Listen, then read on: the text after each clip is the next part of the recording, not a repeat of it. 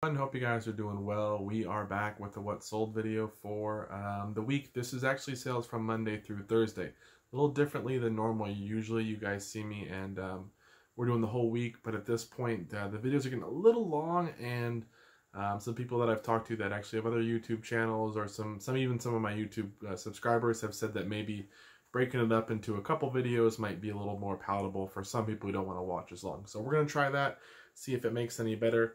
Also, I'm going to add a little clip here of a little haul that I got. Um, add to the on the end of this clip just to show you guys um, a little bit extra stuff that I found. I haven't been doing many haul videos, but I know some people have reached out and said they want to see some of the stuff I find. I know some people want to see um, some GoPro stuff, so I'm still working on that. I have a bunch of footage, but I have to like go in and um, find a way to edit out certain things that show one of my sources because he doesn't want to be in the footage. So I got to figure something out. But I um, hope you guys do enjoy the content. Let me know if you guys like me splitting it up like this. If you want me to add on little tidbits of little sourcing that I've done, little hauls or whatever to show you guys as well.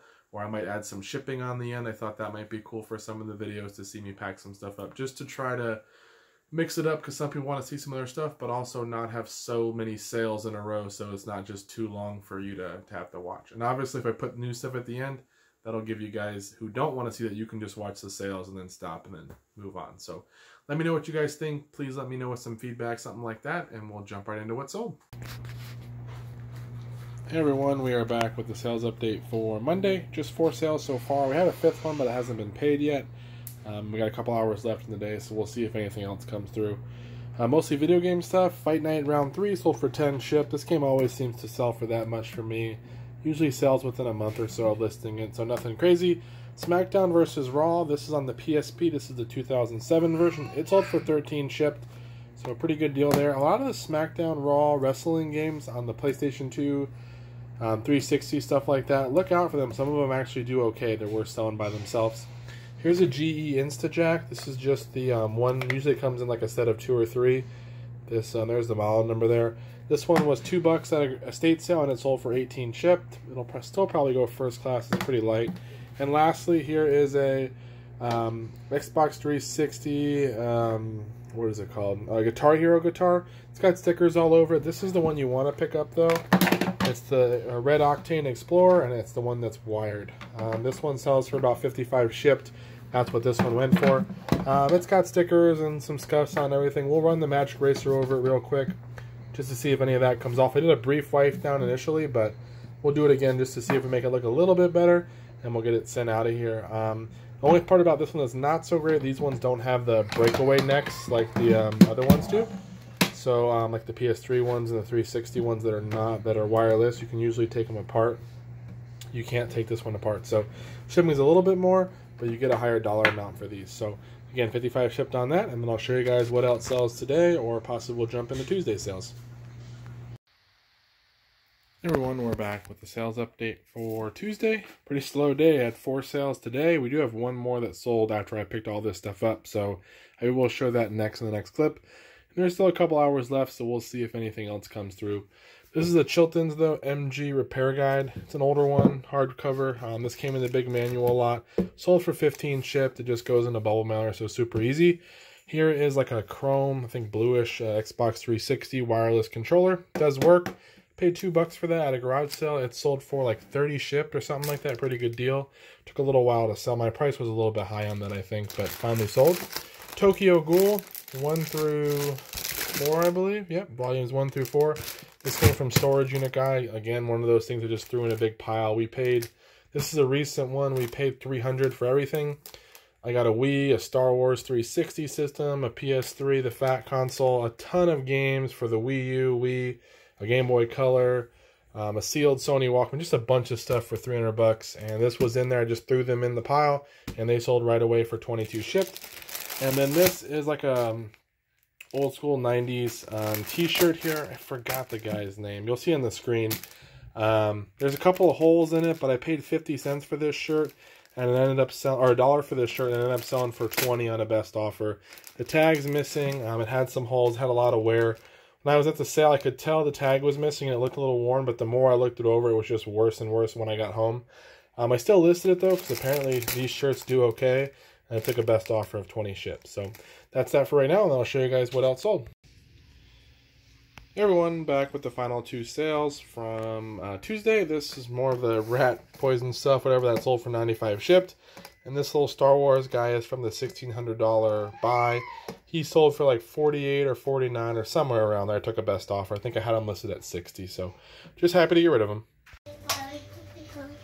Everyone, we are back with the sales for Wednesday. Three so far. There's one that just sold while I was about to hit the start button on the camera, so that'll be cool. I'll show you guys that next in the next clip, and hopefully a couple more hours left we can sell some more stuff. This week's been slower volume-wise, but we've had some high dollar ones that are making it look nice in the total. So um, as long as we get a good amount of sales, whether it's a lot of them that equals a good amount of money or a few of them that equal a good amount, I'm okay. Um, you just got to be thankful for what you have. And um, like I said, it's a good opportunity in reselling to be able to do this, so we are thankful. Um, right here, we have a whole basket full of Thomas the Trains. These were my sons, my oldest son. Um, Noah, you probably have heard me mention him. He is now eight, about to be nine here in a week or so. Um, and these were all his old trains. Most of them were acquired at garage sales. Um, probably paid a quarter, 50 cents each. He would go garage selling with me when he was little, and we would just pick up trains. So there are duplicate ones. There's wooden ones, there's die cast, there's the plastic Trackmaster ones. These are mostly lower value ones or ones that have damage. I parted out all the ones that were like doing okay on their own where you could get like 8 to 15 20 bucks and I sold those separately. I listed all these together for 199.99 or best offer. I've sent offers out for 150, I think 125 recently. No one accepted. And then today someone paid 199 for all these it's a pretty big basket. I mean, you can kind of see it's pretty full of um, trains and stuff. It's pretty heavy, but um, I'm happy with that. They were just lying around in the garage, and I finally got them listed. So happy to get rid of all those. It'll probably end up going FedEx just based on the weight. Um, but either way, we'll make good money on that. I don't really have much invested at this point because when we initially bought them, they were for him. Um, this is a Star Wars Battle Packs. This is from the thousand dollar um, big toy. It's actually sixteen hundred dollars if you add the video game stuff and everything else in there, but $1,600 worth we spent on toys and video games from Storage Unit Guy. This thing sold for a best offer of 70 It is brand new. It's got a little crease in the seal there. This is from 2012, so it's still pretty new, um, relatively speaking. But this kind of Star Wars stuff does way better than um, like the 90s Star Wars stuff. So got $70 shipped on that, and it's light enough that once we get into the box, it still should go first class. And then this is the Lego 7738 Lego City. It's like a helicopter here. Uh, it was on sale for 30% off at one time somewhere, but um, this sold. This also from the same buy. Um, I don't know why I listed the box with it. The box is just so darn big, and the, the Legos don't even fill the whole box. But um, this one sold for like 90 shipped. Um, I think it's going global shipping program, so all the dimensions are in there. It's going to go bubble wrap and then in a little bit bigger box it'll squeeze into. I think it will also go FedEx, but it's so light that it's not going to cost a whole lot. Even if it costs 15 bucks, 16 bucks to ship it, maybe 18 bucks, whatever it ends up being, it's still going to be worth it. We've already we're about in the profits now and all that stuff, and we have so much more stuff to sell, um, which is good. We made all of our money back, and now we can move on. Um, with that said, I'll jump into the next clip with whatever that at least that one thing that sold and possibly other stuff. Hey everyone, we are back with the What Sold update for Thursday. Pretty good day. Um, still got a couple hours left too, so we'll see if anything else sells. Starting off, this is the Beyblade Shogun Steel little carrying case here. It opens up into an arena. We're not going to open up, but um, it was a dollar at a garage sale, and it sold for 30 ships. So had a lot of watchers on it too. I was going to send a offer out to watchers for 25. It's over a pound, but it's barely over a pound. It's pretty light. Probably going to cost me 8 to 10 to ship it, but for a buck into 30, I'm okay with that. Um, I'll just put some bubble wrap on it and we'll put it in a box and get it sent out. Here's the, the only clothing item. Um, this is a Roar shirt. Um, this sold for 21 shipped on a best offer. Uh, it's kind of got like the embroidery or whatever it is. These shirts, for whatever reason, still do pretty well for me. This is like the lowest I've accepted an offer for on one in a while. Usually I'm getting 25 plus. I'm usually paying four or five bucks. So 21 shipped. I'm okay with that. Happy to get it out of here. Here is some Mardi Gras. I guys able to see that. Washington Forge Mardi Gras. Um, this is called like the pink or I think mauve color. I paid a buck for this at an estate sale. Nine pieces of this sold for 17 shipped. Um, it might go at a pound at the priority yeah, might go priority padded flat rate because it's over a pound. I'm not sure, probably at this point. But um, if you get a bunch of this particular one, there's also different colors. A whole set of them, you can make some money. Um, used to do even better, but it's kind of slowed down. Here is a Nintendo GameCube. A little um, cable here. Um, this sold for like 19 shipped. I had two of these just lying around in a bunch of cords I had, so that was pretty cool. Um, there's a Wii U game, Super Mario World, or Super Mario 3D World for Wii U, sold for 16 shipped. I think I paid like 4 bucks for that at um, a Goodwill, and then ended up selling for 16, which isn't too bad. We'll make a little bit of money there. Here's some laser karaoke's by Pioneer. There's like 14 of them or something like that here. Um, these I bought a karaoke player with a bunch of these, with a bunch of laser discs, um, and it ended up selling for the karaoke or the laser disc thing sold for like 160 or 180. I paid 50, so it was a good deal there. And then these sold for 50 shipped. They've been up for a while though, so it took a while to sell, but happy to get rid of them. A set of children's reference, little like science books. There's Planet Earth, The Animal World, things like that. Um, I don't remember where I got these. I think I paid. I think they were from the library, if I'm not mistaken. I might have paid a couple bucks for them. They ended up selling for like 18 ships, so not a whole lot, but they will go medium mail. Here's a Halo figure from the $1,600 buy. It's supposed to have a bunch of packaging in here, and then this little guy opens up and it has a Elite in there and some figures and all kinds of stuff. But um, it was used, but all the pieces were present. This sold for like, I think 20 shipped or 28. It's actually like 20 something shipped. It might even be 28 shipped, I'm not sure, but it's a really good sale. And then lastly, here is another Guitar Hero um, 360 wired controller. This one actually has a gray connector on there instead of the black one, but I listed that in the description. It sold for 55 shipped. I just sold one either earlier this week or last week. I sold one, the same one uh, for 55 shipped. So these always sell if you can get the wired ones. And then we'll jump into what else sold. Oh, and before this, you probably were waiting for a clip from Wednesday's sales. That other sale I had, the person canceled the order before I packed it up. So that's why there's no sale there. And we'll jump into what sells this weekend unless something sells in the meantime everyone, hope you guys are doing well. Back with the final sale from um, Thursday, Lego set 4191. Kind of see it there, this Lego Pirates set. I think it's almost complete. Came out of the $1,600 buy. Um, sold it um, in this condition for 16 shipped. It's going to go first class. It's super light, so we'll get this one packed up. Hey everyone, we are back with, um, this is actually a little haul video and a little tip for you guys. We're going to throw this on the end of the what sold video just so you guys could see some of this. Let me know if you guys want to see more of the haul type stuff or breakdowns. I know people want to see the GoPro footage and I'm trying to figure something out so that way you guys can see that. Um, but sometimes I have hauls that don't have footage for. I don't know if you guys like seeing that. If so, put a comment down below saying you want to add it on. I think what I'm going to do is a shorter what sold video.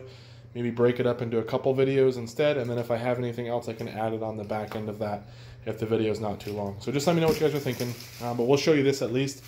This is a big jersey haul. Um, at a, thrift store, every jersey was $24, which is pretty much too much for most jerseys for me, unless it's something really rare and unique. Um, I asked the guy, because there were six jerseys, two Knicks ones, and four um, Sacramento Kings basketball jerseys. I asked the guy, um, that's my cat, um, who uh, worked there, I said, hey, when do these tags, they were black tags, I'm like, do they ever go on sale or is there any kind of discount for them? And he said, no, they never go on sale. And I'm like, I just kind of act really bummed. I was like, man, you know, if they were half off, I'd buy all six of these jerseys from you, um, which is still a lot to pay for a jersey, but you'll see on the end why. I talked to the guy. He's like, "There's nothing I can do. I can't. I can't lower the price in the system. I don't have that kind of authority." So I was like, "Bummer." Well, I'm like, well, maybe I'll, you know, keep checking back, and if they don't sell, the price will go down. I started to walk away, and the guy goes, hey, I'll tell you what I can do. So automatically, I'm like pumped, and I turn around, he goes, how about you buy three at full price, 24 bucks, and I'll give you three free. Because he goes, I can't alter the price in the system, but I can give you um, that discount. Just I'll ring up three of them up at full price, and I'll let you have the other three. So I asked him, are you sure you're allowed to do that? He goes, yeah, it's fine. I just, um, I think it's too high priced anyway. So I said, okay. So he rung me up, and I got uh, six jerseys. Now I have five here because one is already sold. It's sold within 12 hours, and two of these are about to go out right now. So this is a Nike Latrell Sprewell um, jersey, size large, number eight Sprewell for the Knicks.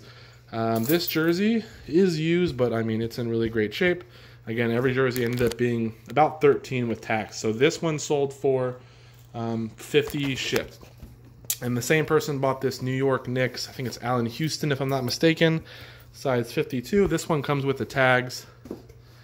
Um, he offered me 60 on this, and I ended up taking it to get rid of it because um, he was buying the other jersey. So that's $110 shipped right there. We ended up paying about 80 for everything. Then the last three that you're going to see here, this is a Kings uh, Webber jersey, double XL.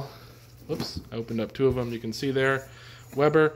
Um, jerseys you want to look out for are usually champion ones. Usually it's a good sign they're older. Um, certain players, champion ones, do really well. Not everyone, but if you can get like Michael Jordan, Shaq, Allen Iverson in particular, um, those ones do well. So this one should go for probably 40 bucks or so. This one's pretty good. It's a Jason Williams Kings 55, also champion, smaller size 44. Um, right there, number 55. I think this one will go for like 60 plus. And then lastly is a Mike Bibby. This one's probably the least valuable one, even though he's a cool player. Um, there's a little bit of a mark. Oh, no, that's not a mark. It's like a piece of dust or something. Um, I thought it was a mark, but um, this one is a size large, but it's not as great of a jersey. It's a Bay Reebok. This one will probably go for like 30, 35 bucks. But um, still, it's a lot of money to pay. But the jerseys that already sold already sold for $68 shipped. It was a Peja Stojakovic Kings jersey used, and it had some marks on the front. Probably could have got a hundred bucks for it, but um, it had a lot of had some stains and stuff. But still went for 68 in one day. So we're not selling a TV. We're in the process of moving, so I have this here because I have to put the TV in it. So you can see I've been working with a lot of clothing and stuff, a lot of military stuff over there. Um, but yeah, if you guys see if you guys see a deal like this at a store, don't be afraid to go ahead and ask. Hey, um, take a look at everything we got going here while, while I'm talking. Hey, is there any way I can get a better deal on these because I'm buying in bulk? If it's just one item, they might not budge. But if it's multiple items, you know, you might be able to ask and say, hey, um, if I buy all six of these or all five of these, can you give me a better price? It never hurts to ask, and that also sometimes can open the door for a relationship with you in the store, maybe a manager, assistant manager, or someone who might work with you in the future. Or if, you can ask them, hey, if you find more of these, you know, here's my number, call me, or if I come, can you give me a good deal? And sometimes they'll work with you, and you can kind of build a relationship like that. So look out for those. When it's all said and done, I don't know what the tolls are going to be. We're already at 100 and what 78 bucks, and we paid 80 roughly with tax, I think. Um, and we still have three more to go. So I think when it's all said and done, we're going to be at at least 300, um, which 300 for an $80 purchase is pretty good in my book. I know for some of you, that's not where you're going to be number wise, but I'll say this for me, growing my business, a lot of people have wondered how I've gotten higher sales and how I'm doing so well. It's when I started investing more money into more product. And sometimes that meant paying more per item, but getting some better quality goods and also just buying in bulk, period. So when you buy things in bulk, um, a lot of times you have to pay, sometimes you have to pay up for them depending on who you're buying from or whatever, and um, spend outlay more money, but it'll be worth more money in the long run to do so. It's hard to really build a huge business on eBay if you're only garage selling for one dollar and two dollar items. You kind of sometimes be willing to take a little financial gamble there, step out a little bit, buy some more expensive stuff, some higher end product Granted, if there's a loss on it, that hurts more, but sometimes the win that you can get out of it is really what helps kind of propel